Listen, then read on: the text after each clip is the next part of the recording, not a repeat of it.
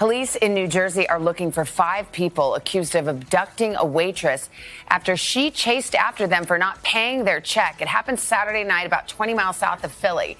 Surveillance video shows the waitress chasing after a white Dodge Durango and eventually she ends up inside that vehicle. Police say she was assaulted and eventually ditched on the side of the road.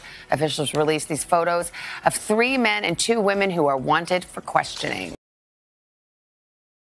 Hey, thanks for watching our YouTube channel. Find your favorite recipes, celebrity interviews, uplifting stories, shop our favorite deals, and so much more with the Today app. Download it now.